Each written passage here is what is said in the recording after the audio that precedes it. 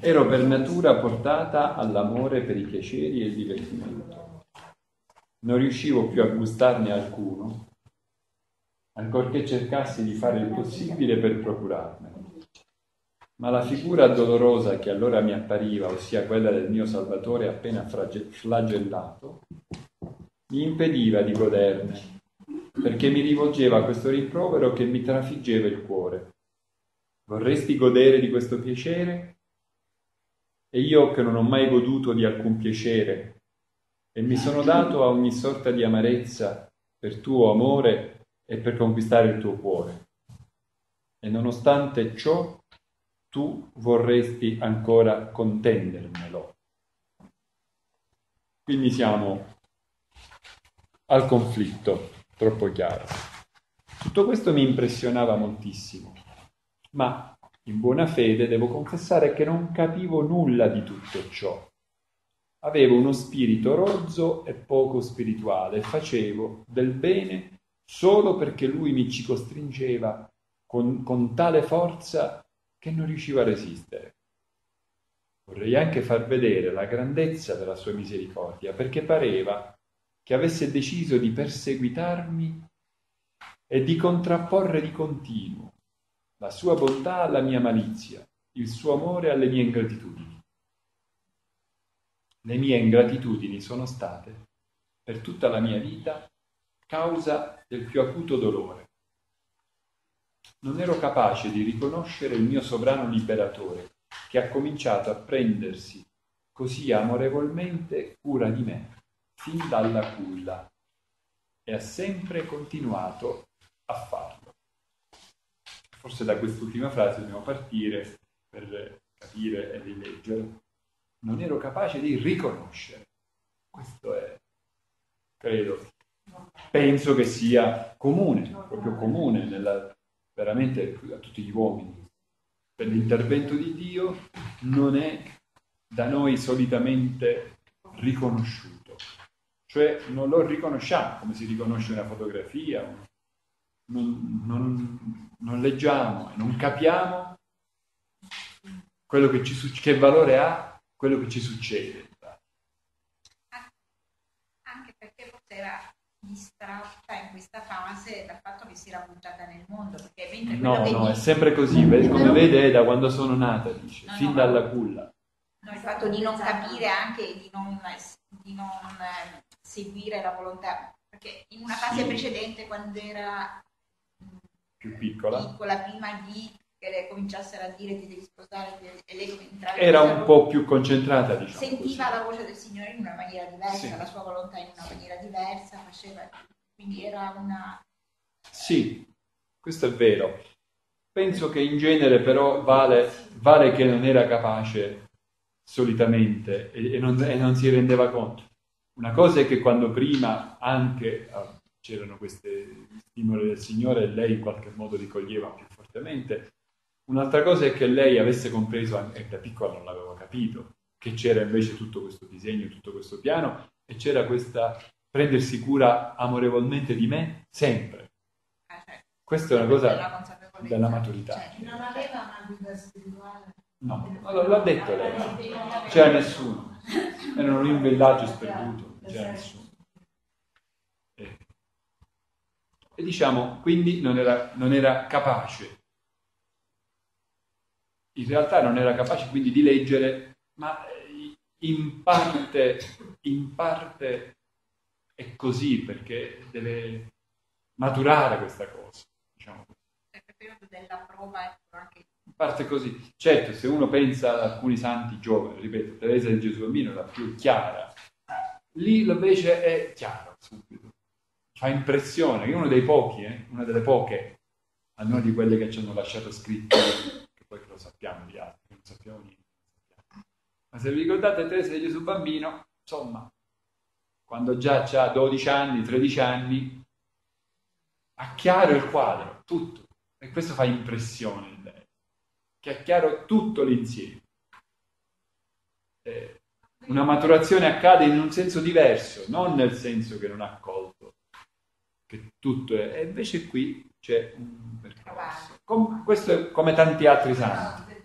tantissimi altri esami. Gli altri esami.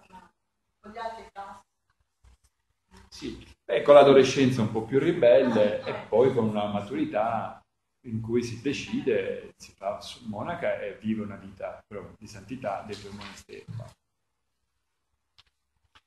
Quindi dicevo, ecco, non avevo perché avevo uno, uno spirito rozzo e poco spirituale, cioè poco anche educato, abbiamo detto, non aveva, non aveva avuto l'opportunità di educarsi e di essere educata.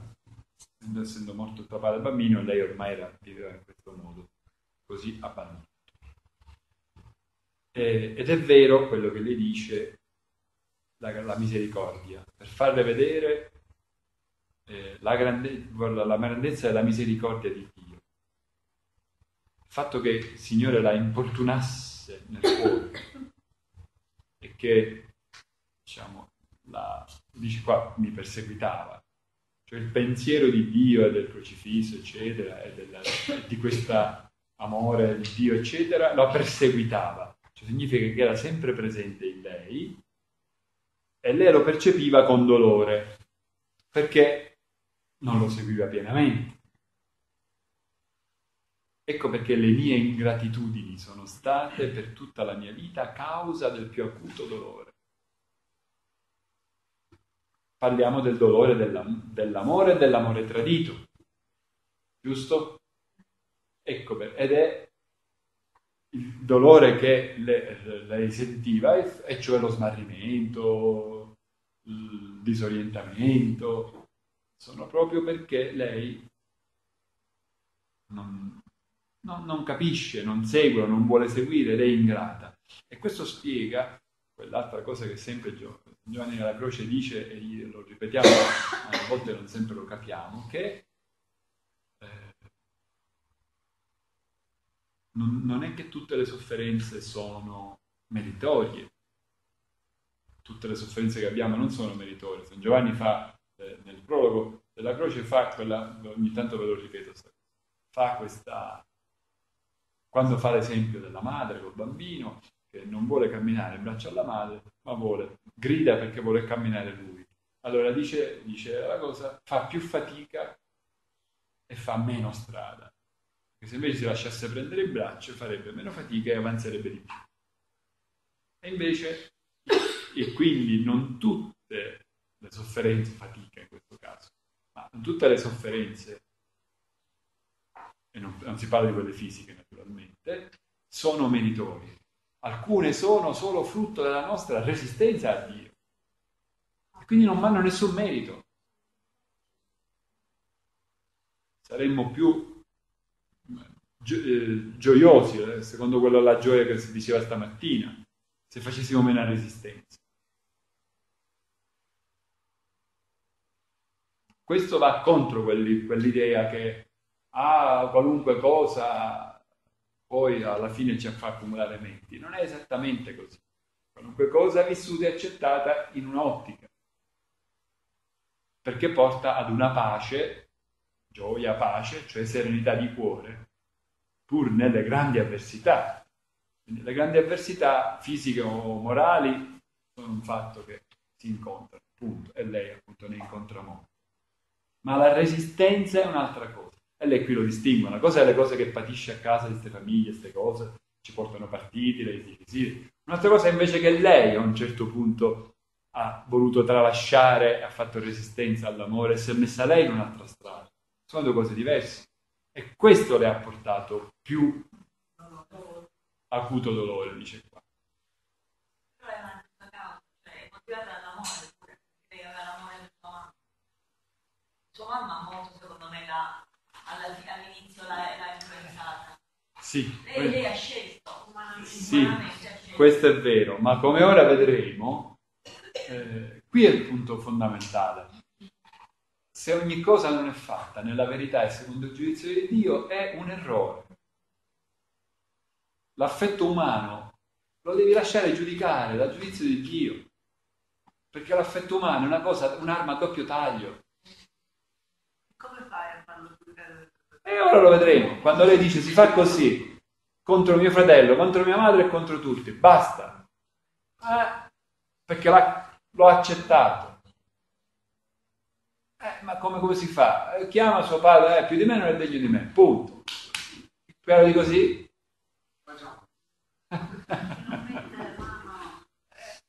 Eh, questo è lei. lei se, infatti lei cosa dice quando, quando comincia a considerare la cosa della madre, nella slide dice il demonio mi aveva messo alla prova. E lei comincia a... proprio perché è nella valutazione che accade il primo, il primo sbandamento è nella verità, nell'allontanarsi dalla verità. E la verità è la fedeltà alla parola di Dio, sappiamo, giusto? Non è che è la verità, la verità è questa. Una volta in cui ero in un abisso di stupore, perché vedevo che i miei tanti difetti e le mie tante infedeltà non riuscivano a respingerlo, lui così mi rispose, Voglio fare di te una fusione del mio amore e della mia misericordia. In un'altra occasione mi disse, ti ho scelta come sposa e quando tu hai fatto voto di castità ci siamo promessi fedeltà. Sono stato io a indurti a farlo, prima ancora che il mondo avesse parte nel tuo cuore, perché lo volevo completamente puro, senza macchia di affetti terreni, e per conservarmelo così ho tolto ogni malizia dalla tua volontà, di modo che non potesse corromperlo. Ecco, quindi con chiarezza adesso come stanno le cose. E questo accade, come vedete, mentre lei è stupita di che cosa? Che vedeva le sue infedeltà e sue, i suoi difetti e questo non frenavano l'amore di Dio. Anche qui poi tra Teresa e Gesù bambino sarà fiumi di inchiostro dirà su questo, giusto? E questo è il punto, la misericordia. Cioè non frena nulla l'amore di Dio per lei, niente, neanche i suoi difetti e le sue infedeltà. E, e mentre era in questo stupore, ecco qui la frase netta. Voglio fare di te una fusione del mio amore e della mia misericordia. L'altra occasione lei capisce ecco, che quello che era stato il suo voto in realtà è, è, una, è stata una chiamata, giusto? Non l'ha fatto tu, l'hai fatto fare io. Anche qui lei di per sé l'aveva fatto lei, secondo la sua percezione psicologica di quando era bambina. Ma lentamente scopre che dietro la sua autocoscienza c'era anche una precisa azione di Dio. Quindi Dio significa che non agisce eh, così venendoti dall'esterno. Nella maggior parte dei casi agisce attraverso la tua stessa autocoscienza, attraverso le tue stesse decisioni di quei momenti. Eh, infatti lei l'aveva scelto lei, ma ora le rivela che Dio aveva agito attraverso di lei stessa con sé. Cosa che è molto importante perché quasi sempre accade così. Quasi sempre accade così, no? Eh, accade, raramente accade come uno che dall'esterno, ecco come qui, che dall'esterno ti parla e ti dice qualche cosa in maniera frontale. Così sempre accade che invece è in te e agisce con i tuoi strumenti. E tu solitamente non lo sai. Poi dopo, come qui accade, dopo lo capisci. C'è, un progetto c'è sempre, il problema è se non lo seguiamo. Progetto semplice. E poi ti ho affidata alle cure della mia Santa Madre affinché ti plasmasse secondo i miei disegni. Lei è sempre stata per me una buona madre e non ha mai rifiutato il suo aiuto per tutte le mie pene e i miei bisogni. E con tale fiducia che mi pareva di non avere nulla da temere sotto la sua materna protezione io le avevo fatto voto di digiunare ogni sabato e di dire l'ufficio della sua immacolata concezione non appena avessi imparato a leggere e di fare sette genuflessioni tutti i giorni della mia vita recitando sette Ave Marie per onorare i suoi sette dolori. Mi ero consacrata a lei per essere sempre sua schiava, chiedendole di non rifiutarmi che così fosse. Le parlavo con semplicità, al pari di un bambino, come alla mia buona madre, per la quale sin da allora provavo un amore tenerissimo. Quindi anche questo, come vedete, corrisponde a una cosa che lei ha fatto lei spontaneamente. Lei si è affidata alla Madonna, con tutte quelle cose che dice qua, queste promesse, questo sorta di voto di schiava, che era comune. Dire sono la tua serva, cioè faccio tutto quello che tu mi dici, mi metto al tuo servizio, perché riconosco che tu mi saprai guidare. Una sorta di dedizione e di mettersi al servizio completamente, in questo caso della Madonna. La frase di Gesù le fa capire che anche questo, che lei ha fatto spontaneamente, come se venisse da lei, in realtà era stato lui che aveva affidato alla sua madre perché ti plasmasse secondo i miei disegni. Quindi si svela lentamente un piano, prima quello che, come diceva qui, che da bambina, da ragazza, prima che tu ti corrompessi, avessi affetto per altri, io ti ho fidan- fatto fidanzato, diciamo tutto per me, ora affidato alla, alla Vergine. In realtà queste cose noi anche dai profeti conosciamo, il profeta Ezechiele, non mi ricordo se è il capitolo 16, in cui dice, si rivolge al popolo ebraico come se fosse una giovane donna e fa lo stesso ragionamento. E quindi meta- metaforico il fidanzamento da Dio. Il profeta Geremia, profeta Osea. Quindi è già una letteratura profetica che parla di questo eh, rapporto sponsale e nuziale tra Dio e l'anima. Dio e il popolo, Dio e l'anima. Quindi non è anche qui di per sé una novità. E qui ci sono le cure di Maria, che entra da, da un po' di tempo, da un po' di secoli, con parecchi santi, e sempre di più ora sarà, entrerà come una che apparte a questo sposalizio, uno che vive una specie di testimone materna di questo sposalizio tra il figlio e la persona, l'anima in questo caso, Margherita Maria. Ci siamo? Ecco qui il momento chiaro. Lei mi rimproverò severamente quando mi vide pronta a soccombere al terribile conflitto che sentivo in me perché non potendo più resistere alle persecuzioni dei miei e alle lacrime di una madre che amavo così teneramente e che mi diceva che una figlia deve sposarsi a vent'anni, cominciavo. Satana mi ripeteva in continuazione. Vedete che lei lo attribuisce a Satana?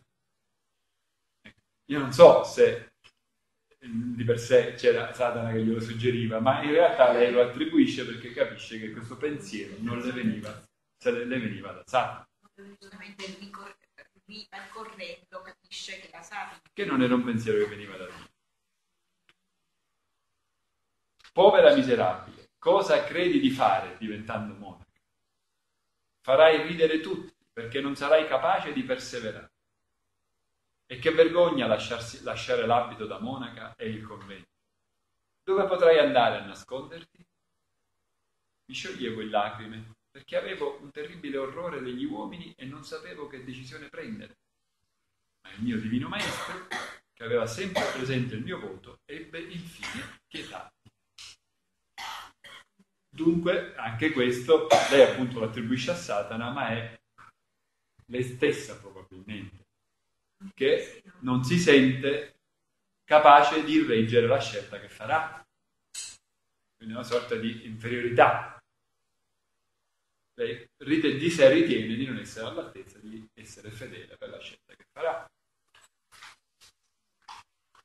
Tentazione, dunque per lei questa dopo capisce che è una tentazione e non è un ragionevole fare i conti, per così dire.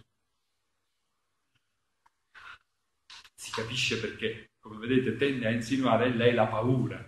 Dove andrai a nasconderti? Vergogna,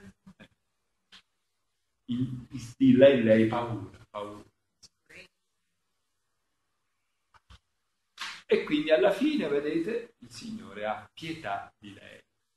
Pietà di lei significa che finalmente le chiarisce meglio le idee e le chiede e le dà la forza di fare la scelta. Una volta, che se non erro fu dopo la comunione, lui volle farmi vedere che era il più bello, il più ricco, il più potente, il più perfetto e il più consono di tutti gli amanti e si stupiva che essendogli stata promessa da molti anni, volevo rompere con lui e prendermene un altro.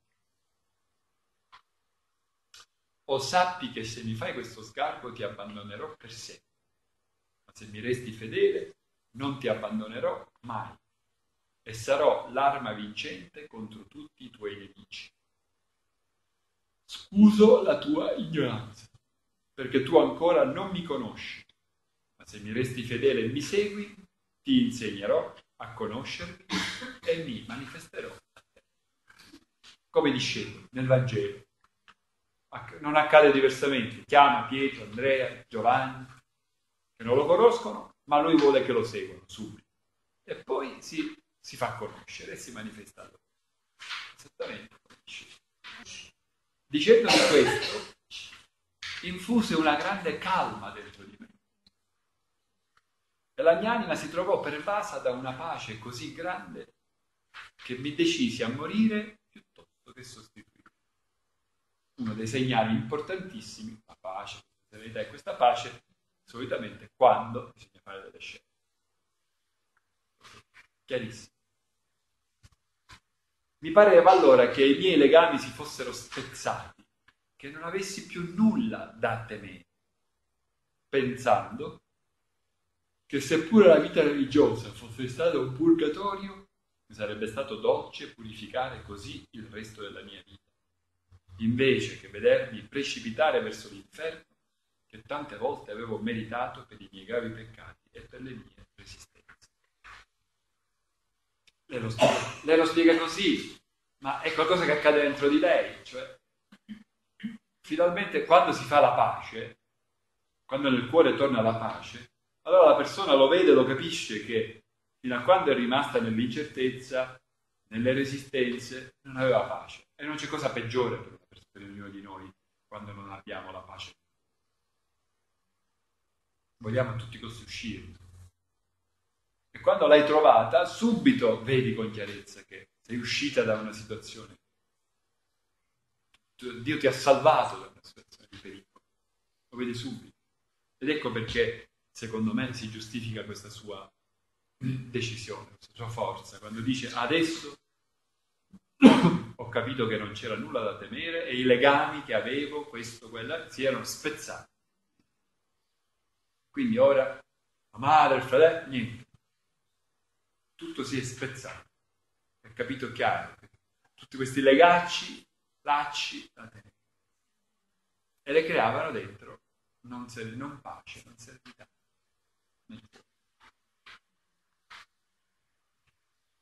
Essendomi dunque decisa farmi monaca, quel divino sposo della mia anima, per paura che gli sfuggissi ancora, mi chiese di permettergli di impadronirsi e rendersi arbitro della mia libertà, visto che io ero te. Questo è cruciale, eh? veramente cruciale. A questo punto, visto che tu ti intendi e che sei debole, ti chiedo questo. Punto, con decisione. Acconsentì senza difficoltà. E da allora in poi si impadronì talmente della mia libertà che non ne ho più usufruito per il resto della mia vita. Si insinuò in quel momento così a fondo nel mio cuore che rinnovai il mio voto cominciando a capire. Ah, vedete? Cominciando a. Adesso. Adesso. Se non si acconsente, non si capisce. Prima non si capisce. Quindi, come vedete, sta è capovolto, proprio perché non si controlla, non è una cosa tua, ti devi, ti devi dare, abbandonare per poi capire, altrimenti non ami davvero, non controlli, vuoi sempre controllare le cose. Gli dissi che mi fosse pure costato mille vite, non sarei mai stata altro che monaca e lo dichiarai a chiare lettere pregando che fossero congedati i miei partiti per quanto vantaggiosi me li presentassero. Comincia a fare le scelte, i tagli e le decisioni. Mia madre, vedendo ciò, non piangeva più in mia presenza, ma lo faceva continuamente con tutti quelli che gliene parlavano. Che, insomma, ha capito che c'era ora una nuova situazione, si era creata una nuova situazione. Costoro non mancavano di venirmi a dire che se l'avessi abbandonata sarei stata la causa della sua morte e ne avrei risposto di fronte a Dio, perché lei non aveva nessuno che la assistesse. Ragionevolissima, giusto questa cosa? Ma è ragio- sembra ragionevole, è ragionevole, nel senso che accade mille volte così, eh? E lì ci vuole il grande coraggio e la grande chiarezza. Proprio così. L'obbedienza a Dio, sapendo che nell'obbedienza a Dio comunque è il bene, non solo mio, ma di tutti.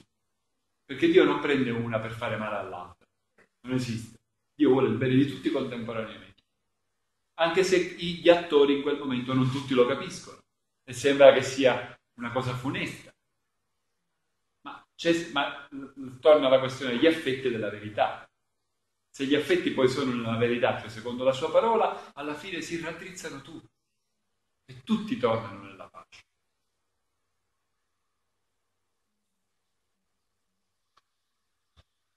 Dicevano pure che potevo farmi monaca dopo la sua morte. Pensate quante volte io ho sentito dire, ma prima ti devi laureare, non solo ad altra gente, no? ma prima laureati e poi ci vai in seminario, prima ci vai in monastero. Nel frattempo, perché i tuoi vogliono nel frattempo che ti laurei frattempo che finisci sta cosa, nel frattempo... Prendere tempo, no? Compromesso, così. Un fratello che mi amava molto fece ogni sforzo per distogliermi dal mio progetto, offrendomi parte dei suoi beni affinché mi potessi collocare meglio nel mondo. Ma il mio cuore era diventato duro, come roccia, di fronte a queste cose, anche se poi mi toccò restare ancora per tre anni nel mondo, in mezzo a tutti questi conflitti.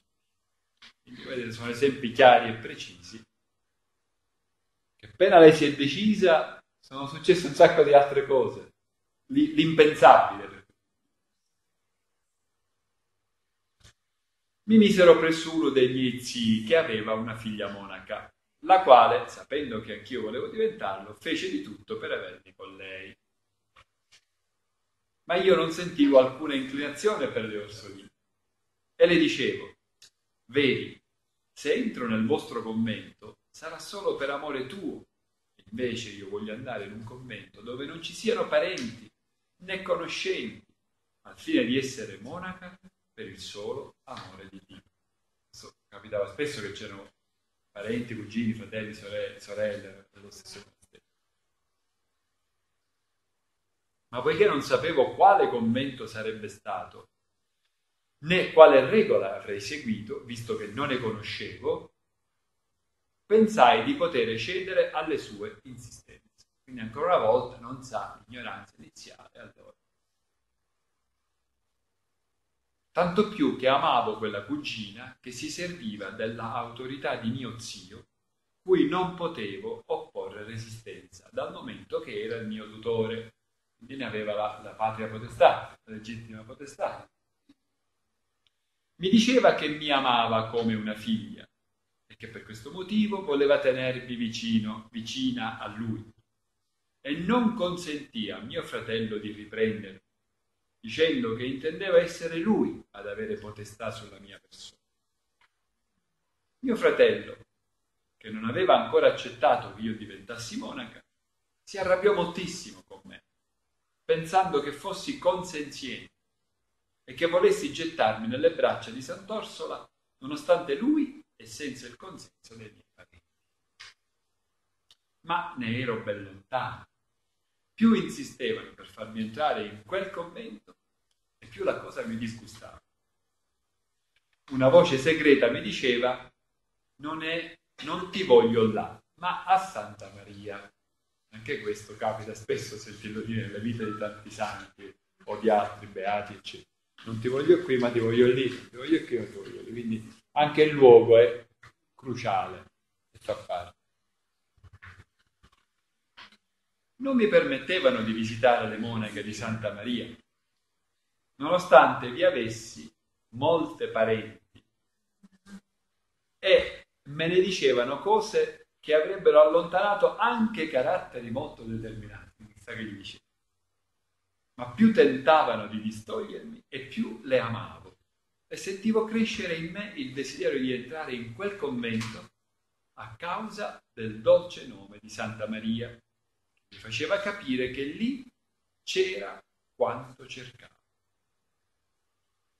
Una volta, guardando un quadro del Santissimo Francesco di Sales, mi parve che mi volgesse uno sguardo paternamente amoroso, chiamandomi figlia. Così cominciai a considerarlo mio padre. Non osavo riferire nulla di tutto ciò e non sapevo come liberarmi di mia cugina e di tutta la sua comunità, che mi dimostrava un affetto tale che non sapevo come sottrarmi. Quindi, ecco perché prende altri, altri anni prima di arrivare. E ora piano piano si vede come si fa questa strada.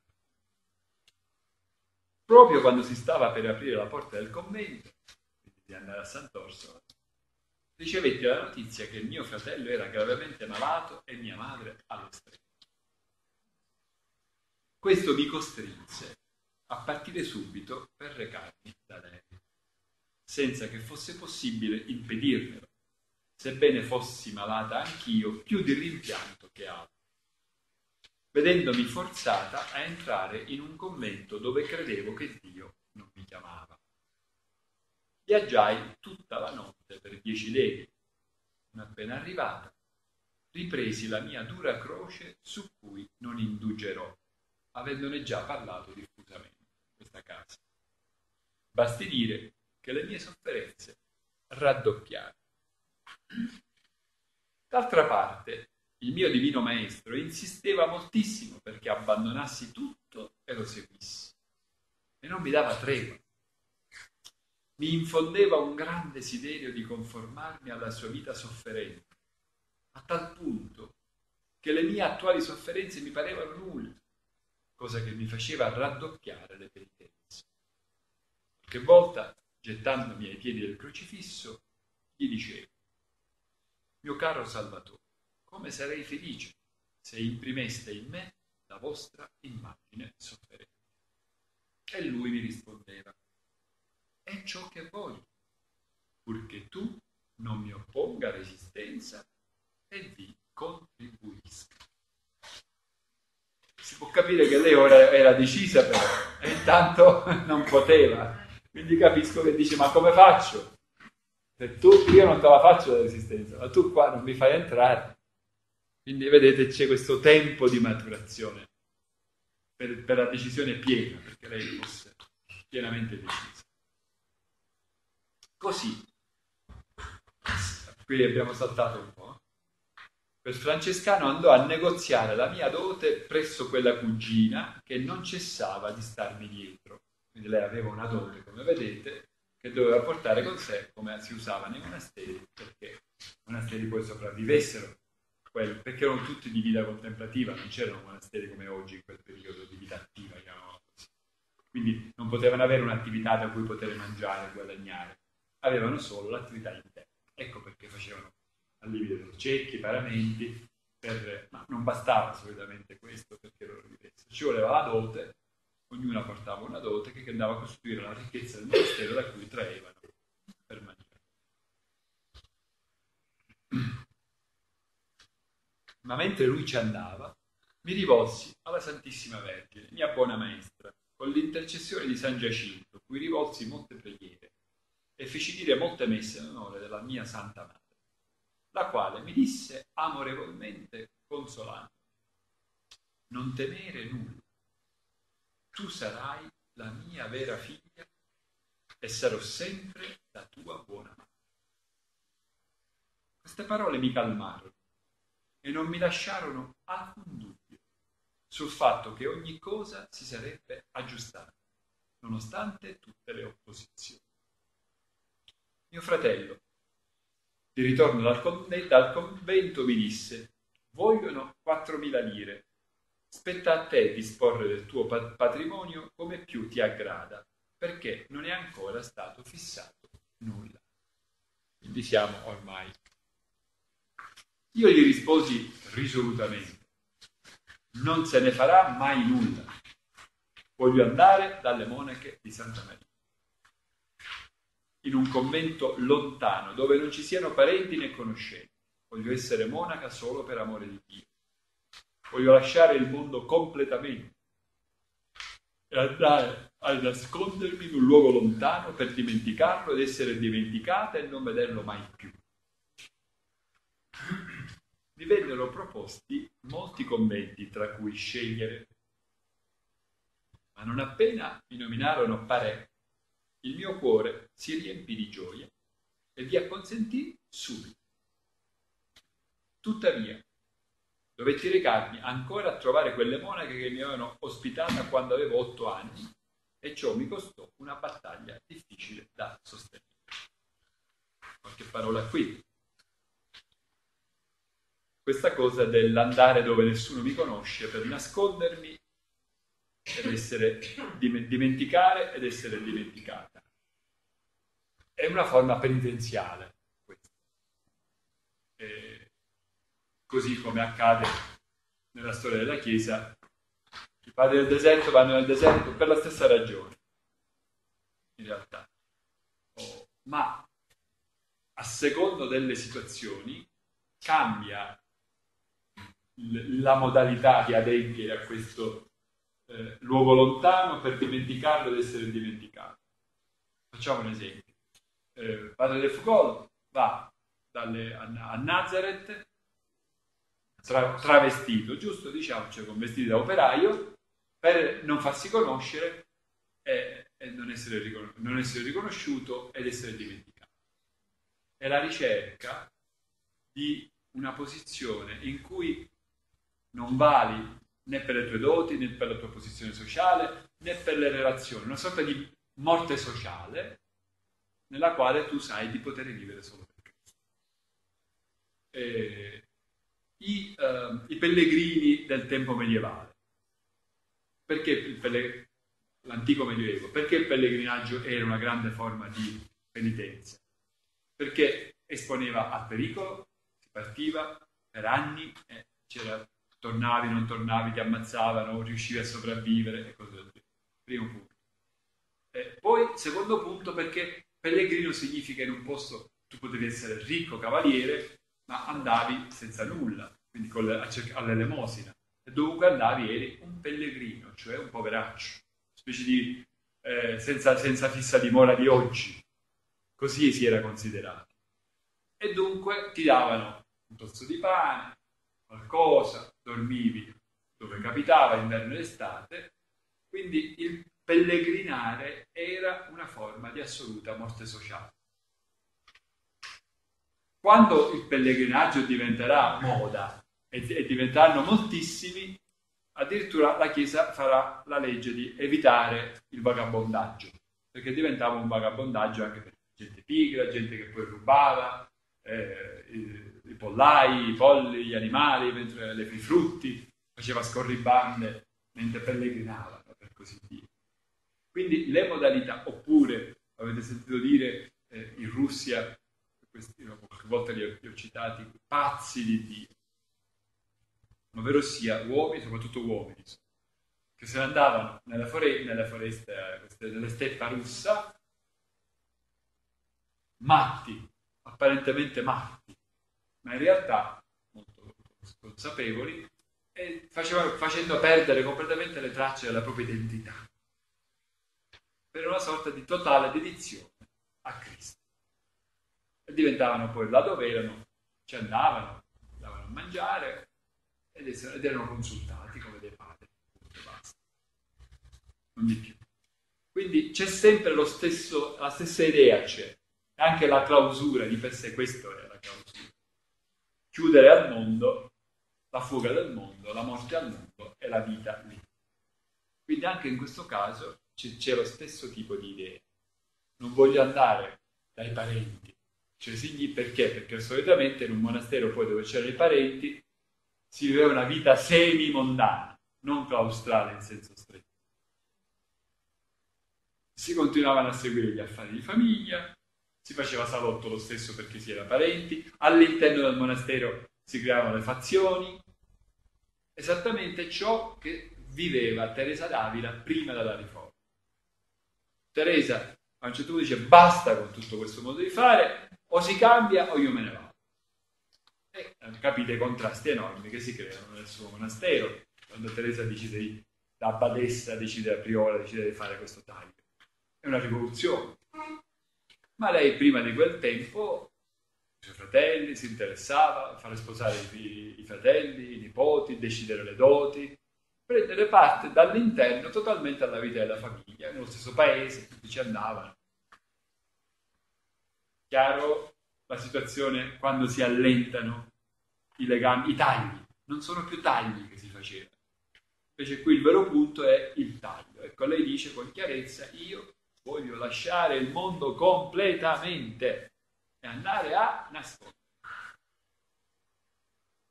In questo caso si parla appunto, chiamiamola morte sociale, c'è una chiusura definitiva Quelle monache mi accolsero dicendo che ero figlia loro. Ah, queste sono quelle dove era stata bambino, quindi altri problemi. E, e domandandomi come mai volevo abbandonarle, visto che mi amavano così teneramente. Mi dissero che non volevano vedermi a Santa Maria, sapendo bene che lì non sarei riuscita a resistere. Perché? Perché Santa Maria è una visitazione da, da poco fondata, era un monastero diciamo, diciamo, più rigido, più osservante, ecco, più osservante rispetto a loro. Perché no, tu lì non ci starai, non ci saprai stare. Risposi che volevo provare e mi fecero promettere che sarei ritornata da loro qualora avessi cambiato idea. Visto che non ce la facciamo, almeno. Sapevano bene, così dicevano, che mai avrei potuto abituare.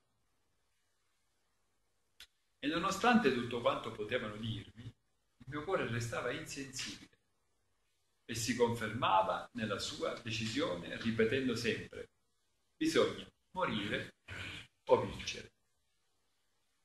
Quindi lei ormai è decisa, è definitivamente decisa.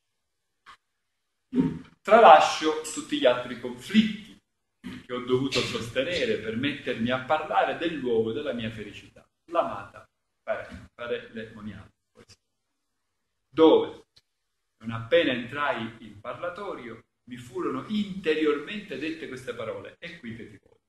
Questo è tipico di moltissime scelte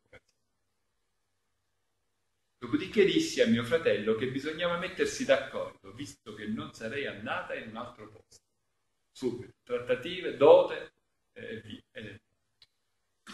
Ciò lo sorprese quando, avendomi condotta lì solo per farmi conoscere le monache di Santa Maria, senza che, e senza che io avessi precedentemente mostrato desiderio di volere diventare una di loro. Ma adesso non volli venir via finché ogni cosa non fu definita. Definiamo, altrimenti dice non torno indietro.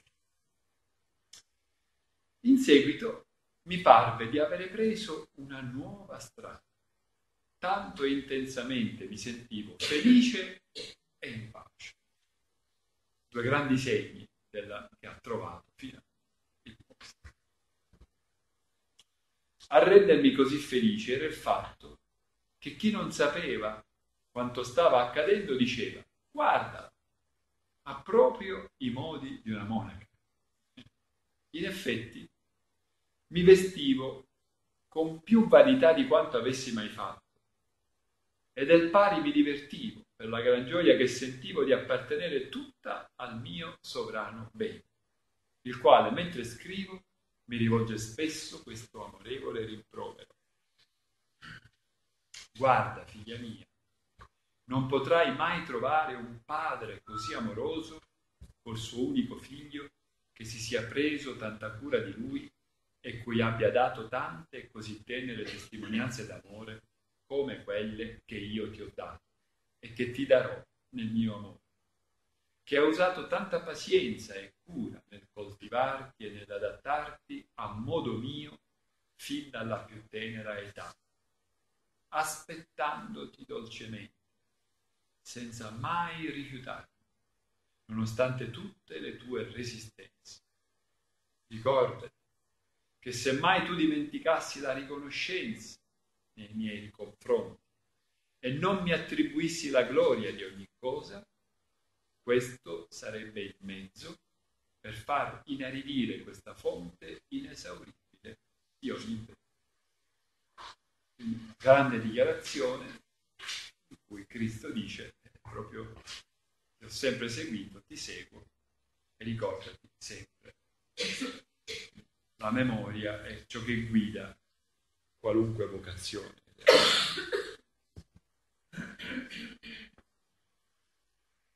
Quando finalmente giunse il giorno di dire addio al mondo, sentii nel mio cuore una gioia e una fermezza mai provate prima. E il mio cuore era come insensibile sia all'affetto sia al dolore che mi venivano testimoniati, soprattutto da mia madre. Qui si può ricordare moltissime delle testimonianze. A me viene in mente, al contrario, quella di una madre per suo figlio, Giovanna, la fondatrice, giusto? Giovanna Francesca di Chantal, quando entra è madre di figli, è il contrario di questo. E, eh, non so se penso di averlo raccontato, che suo figlio si stende, si corica davanti all'uscio della porta e dice tu non passerai sopra di me. E lei fa così e va via, e va via, con una grande decisione naturalmente. Quindi in quel caso l'amore materno nei confronti del, del proprio figlio è decisa, taglia e lettera. Una donna veramente... Morirà, ma per altre ragioni. Povera lei che gli muore il figlio, la nuora, la figlia, l'altro genero, una strage. Rimane Francesco Tesoro. Avrà una strage. No, muore anche Francesco. Vabbè, dopo però. eh. No, no, no. Nel- lui nel 1622 e lei campa fino, a, non ricordo male, 1648. Lei rimane senza direttore e senza nessuno per 25 anni. Completamente. Con la fondazione fondata da poco, tutto sommato. era stata fondata nel 1611 e lei la porterà avanti fino alla fine. Quindi non è così semplice.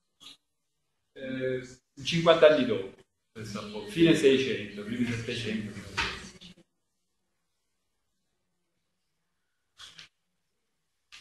Non versai neanche una lacrima, lasciandoli, perché mi sembrava di essere una schiava che viene liberata dalla sua prigione e dalle sue catene, per entrare nella casa del suo sposo, prenderne possesso e godere in tutta libertà della sua presenza, dei suoi beni e del suo amore. Era questo che lui diceva al mio cuore, che era fuori di sé. Veramente, è nel proprio matrimonio, diciamo così, esce, esce fuori. Per lei è una grande libertà, è una nuova vita che si apre e dunque lascia alle spalle quello che alla non era per lei. Siamo verso la fine perché già il tempo. Non sapevo dare altra spiegazione alla mia vocazione per l'ordine di Santa Maria se non quello che volevo essere figlia della Santa Vergine. Confesso che nel momento in cui entrai era un sabato. Tutti i dolori che avevo patito e molti altri mi assalirono così violentemente che mi pareva che entrando in convento il mio spirito si separasse dal mio corpo. Ma subito mi fu mostrato che il Signore aveva rotto il sacco della mia prigionia e che mi rivestiva del suo manto di letizia. La gioia mi dominava a tal punto che gridavo, è qui che Dio Finalmente, una grandissima, una ventina d'anni, ecco, di, di, di sofferto, travaglio, eh? e per lei è una vera liberazione. Non me lo ricordo. 22? 42. Ma muore, sì, no, quanti anni ha adesso? 26. Quando entra? È una vita molto complessa. Qui vi fermo.